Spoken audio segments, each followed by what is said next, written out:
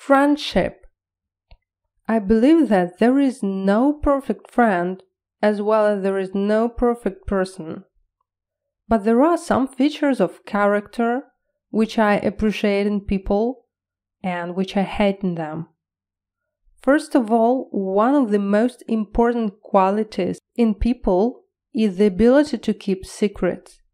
There are problems sometimes that you can't share even with your parents, but only with your friends. So I'd like my friend to keep silent about my secrets. Then I think you must have something in common with your friends. For example, we should have the same habits or interests.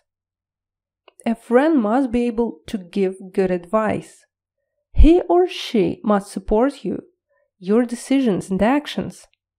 I never tell lies, so I can't stand my friend telling me lies.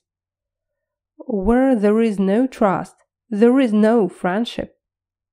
The main base for good relations between people is confidence. But there is no place for confidence if one of the partners is a liar.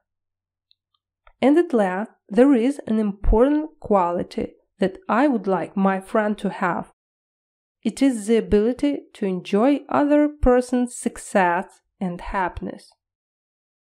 As I have already mentioned before, it is nearly impossible to find all these features in one person. So I have several friends with different good and bad features. Overall, I love my friends and hope that they feel the same to me.